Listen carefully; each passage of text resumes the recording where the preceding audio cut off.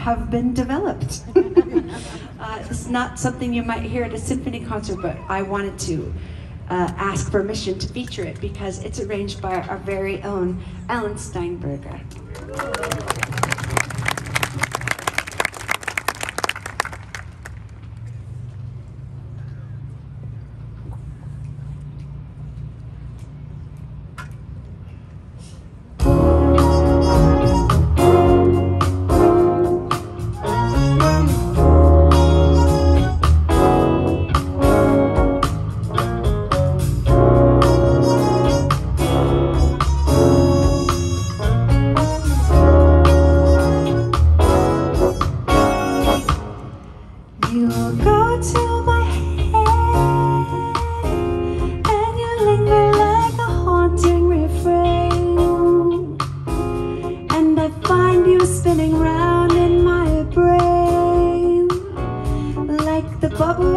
In a glass of champagne.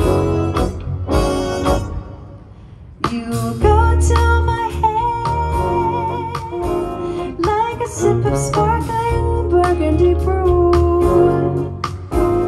And I find the very mention of you like the kicker in a julep or two.